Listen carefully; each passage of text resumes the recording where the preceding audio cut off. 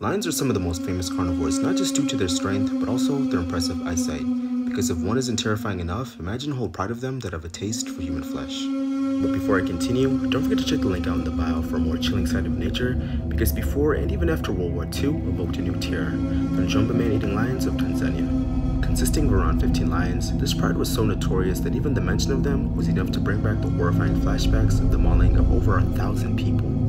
While most lions prefer to hunt at night due to the white line that enhances their vision up to 8 times better than our own, these lions decided to hunt during the day. But this behavior wasn't random, because at the time, the British colonial government was known for wiping the vast majority of wildlife in the region to combat a virus known as the rinderpest virus that was mainly targeting local livestock. And while they eventually were hunted down in 1947, this is not just a reminder that wildlife should be preserved, but also their strength, because while they may be endangered, if you do mess or even hunt one, you too may also be in danger.